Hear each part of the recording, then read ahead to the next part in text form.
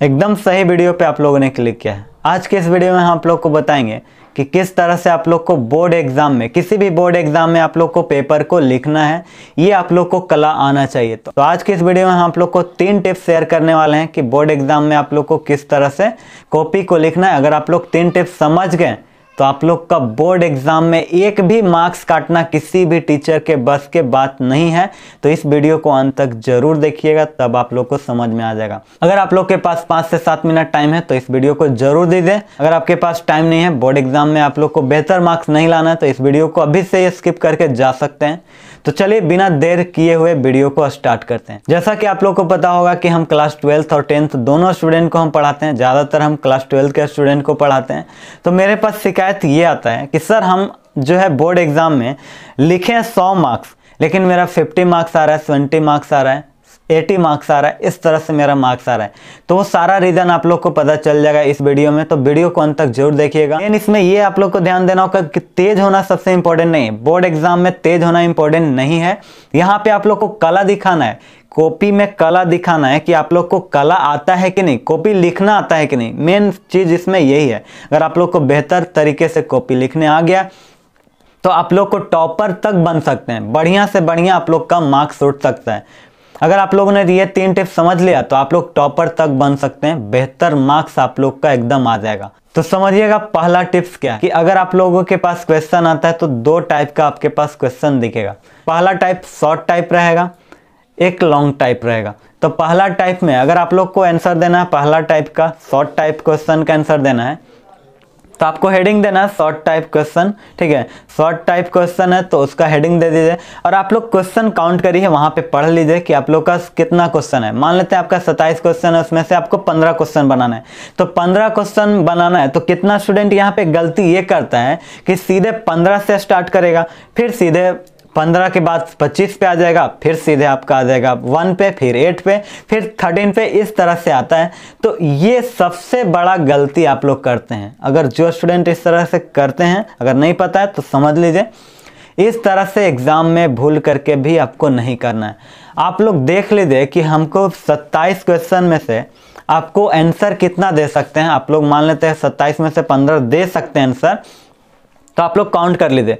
हमको क्वेश्चन अगर आप लोग को पंद्रह क्वेश्चन उसमें से आता है तो आप लोग देखिए कि मान लेते हैं आपका पहला क्वेश्चन आ रहा है, फिर उसके बाद पांचवा आ रहा है, फिर उसके बाद आठवां आ रहा है तो उसी टाइप से बनाइए ऑर्डर में बनाइए। ऐसा नहीं कि डायरेक्ट उछलना है। यहाँ से टू के बाद सीधे पच्चीस पच्चीस के बाद सीधे वन वन के बाद सीधे नाइन ऐसा नहीं करना है। क्योंकि देखिए, वहाँ पे स्ट्रेस बहुत ज़्यादा रहता है टीचर को। इतना सारा कॉपी देख करके ही उसका स्ट्रेस रहता है माइंड में कि हमको ज़्यादा से ज़्यादा, जल्दी से जल्दी हमको कॉपी को चेक कर देना है। सीरियल तरीके से आप लोग लिखे। ऐसा नहीं बोल रहे हैं कि पहला से स्टार्ट करो, पंद्रह तक लिखो। ये काम नहीं करना है। आप लोग को देखना है, लेकिन यही देखना है कि आप लोग को एक ऑर्डर में लिखना है। पहला का आंसर आ रहा है? पहला लिखे। उसके बाद पांचवा आ रहा है। पांचवा लिखे, छठा, सतवा, आठवां। आठवां के बाद सीधे आपका फोर्टीन नंबर आ रहा है। तो फोर्टीन बनाइए फिफ्टीन बनाइए, फिर उसके बाद आपका ट्वेंटी आता है ट्वेंटी बनाइए, ऐसे करना है। ये नहीं कि उछलना नहीं है, आप लोग को समझ में आ गया होगा, ठीक है? हाँ तो ये आपको करना है। ये सबसे मेन पहला पॉइंट है। अगर लॉन्ग में भी कर रहे हैं तो ऐसा ही करना है शॉर्ट में भी आप लोग को आंसर देना है तो भी इसी तरह से करना है। लेकिन आप लोग को ऊपर हेडिंग ज़रूर दे देना है कि आपको शॉर्ट आंसर टाइप लिख रहे हैं कि लॉन्ग आंसर टाइप क्वेश्चन का आंसर दे रहे हैं। ये ज़रूर लिखना है, ठीक है? तो पहला बात तो ये हो गया, ठीक है? अब दूसरा आप लोग टिप्स समझिएगा। दूसरा टिप्स ये है कि आप लोग हर हमेशा बोर्ड एग्ज़ाम में दो पेन का यूज़ करिएगा। दो पेन कहने का मतलब ये भी नहीं कि लाल, ब्लू, हरा, काला, पीला, गुलाबी कुछ भी यूज़ करने लगे। ऐसा तो आप लोग को भी पता होगा। ब्लू और ब्लैक, दो पेन का यूज़ करना है, ब्लू और ब्लैक। अगर आप लोग ब्लू और ब्लैक इसलिए बोल रहे हैं, क्योंकि समझिए, ब्लू ब्लैक ही चलता है और तो दूसरा चलता नहीं है बोर्ड एग्ज़ाम में, ठीक है? कहीं भी एग्ज़ाम में आप लोग को देना होगा तो दो ही कलम का यूज़ करिएगा, एक ब्लू और ब्लैक। तो दूसरा टिप्स ये है कि दो पेन यूज़ करने का फ़ायदा ये होगा। अगर आप लोग क्वेश्चन का आंसर लिख रहे हैं, अगर आप लोग को किसी चीज़ को हाईलाइट करना है, मान लेते हैं आप ब्लैक पेन से लिख रहे हैं, पूरा कॉपी ब्लैक पेन से भर रहे हैं तो ब्लैक से ही पूरा लिखिए। ऐसा नहीं करना है कि ब्लैक से कहीं पे ब्लू से कहीं पे, ऐसा नहीं करना है। समझिए बढ़िया से। यहाँ पे आपको क्या करना है, अगर आप लोग पूरा ब्लैक से लिख रहे हैं तो ब्लू का सिर्फ़ यूज़ इसलिए करना है आपको हाईलाइट करने के लिए। कहीं पे भी आप लोग को लगे कि हाँ इसको हाईलाइट करना चाहिए, ये बेहतर पॉइंट है। तो वहाँ पे आपको हाईलाइट कर देना है। इस तरह से आपको हाईलाइट कर देना है, ठीक है? वहाँ पे अंडरलाइन कर देना ताकि एग्जामिनर का जो चेक करे उसका फोकस वहीं पे जाए। ये दूसरा टिप्स है आपको अंडरलाइन करने का।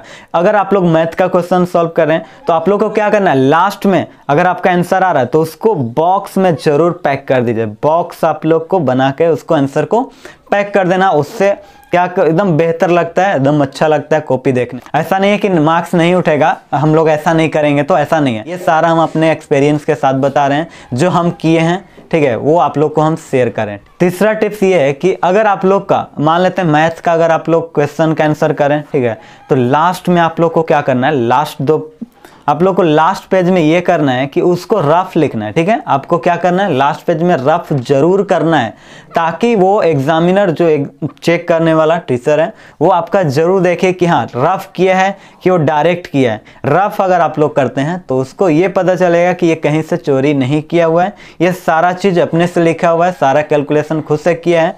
तो ये आप लोग को ज़रूर करना है। लास्ट में रफ वर्क ज़रूर करना है। लास्ट पेज में। जितना रफ करना हो लास्ट पेज में आप लोग रफ करिए। और लास्ट में अब अगर आप लोग पूरा सारा सॉल्व कर लिए तो आपको जो रफ लिखे हैं ना लास्ट में आप लोग को पेज में रफ लिख देना है, ठीक है? रफ लिखना है, उसी में रफ आप लोग को करना है। और आपको कॉपी सारा लिखने के बाद आप लोग को उसको ऐसे क्रॉस कर देना रफ जो आप लोग किए ना, उसको आपको ऐसे क्रॉस कर देना है, ताकि उसको पता चले कि हाँ ये ये आपका रफ किया हुआ है, इससे हमको कोई लेना देना नहीं है। आप लोग इन तीन टिप्स को फॉलो करते हैं तो आप लोग का मार्क्स जो बोर्ड एग्ज़ाम में होगा, एकदम बेहतर मार्क्स आएगा। एक भी मार्क्स काटना मुश्किल हो जाएगा टीचर का। एक भी मार्क्स नहीं कटेगा, अगर आप लोग इस तरह से लिखते हैं तो।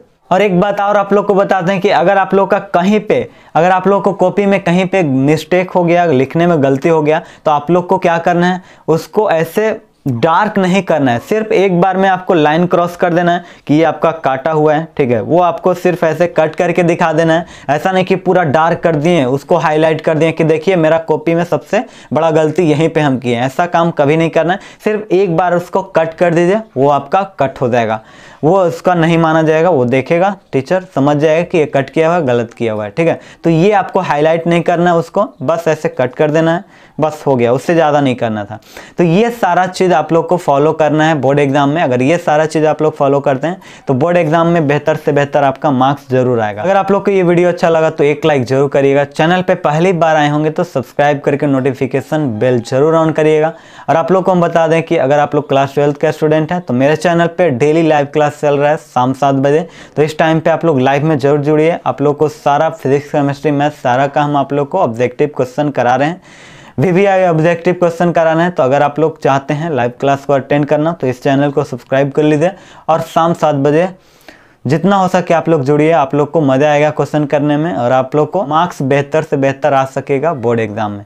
तो चलिए आज के लिए इतना ही। इस वीडियो को ज़्यादा से ज़्यादा शेयर ज़रूर करिएगा अपने फ्रेंड्स के साथ, ताकि सभी स्टूडेंट इस वीडियो को देख करके ज़्यादा से ज़्यादा बोर्ड एग्ज़ाम में मार्क्स ला सकें। वो सीखें कि इस तरह से हमको बोर्ड एग्ज़ाम में मार्क्स को उठाना है।